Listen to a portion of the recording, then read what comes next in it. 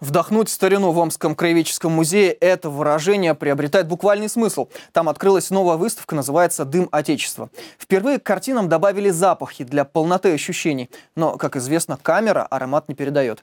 Поэтому мы отправили туда Светлану Елавнарову. Она специально вылечила насморк и готова рассказать, чем пахнет искусство.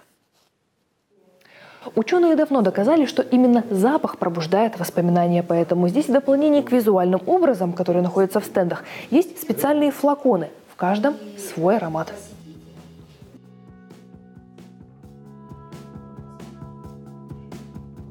К витрине, посвященной туризму и охоте, организаторы подобрали запах шашлыка или бекона. А также, мне кажется, запах дерева. Подобная арома-выставка в Омске впервые. Дюжина стендов разной тематики. Здесь смешались ароматы за границей, разных профессий, хобби и даже детства. По мнению автора, оно пахнет овсяным печеньем. И для каждого посетителя выставка уникальна, ведь запахи пробуждают у каждого его личные воспоминания. Ну, это, кажется, сирень.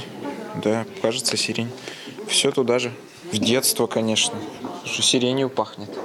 И дом, и детство. Флаконы с ароматом, но не подписанные. И вот уже посетители сами с игрой своего воображения, своих воспоминаний будут определять, какой аромат к какому комплексу относится.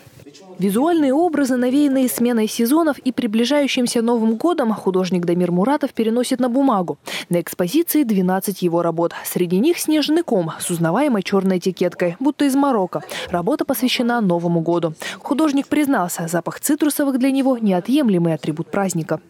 Ну, конечно, мандарины, хвоя, вот, запах хвои, игрушки, салат оливье.